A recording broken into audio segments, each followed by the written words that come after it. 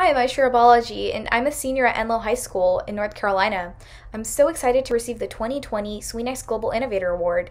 I feel very honored to be acknowledged by SWE for my work as the founding president of my school's SWE Women in Computer Science Club and my environmental research. I specifically wanted to thank my teachers and my research professor for their continuous support. The SWE community really means a lot to me, and I can't wait to add more to it. I can't wait to meet you all.